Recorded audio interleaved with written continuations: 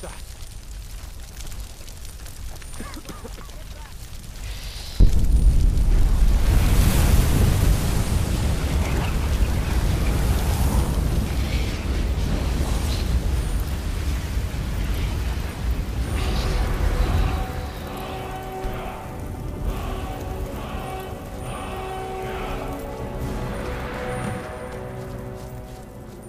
I can't believe it. You're Dragonborn.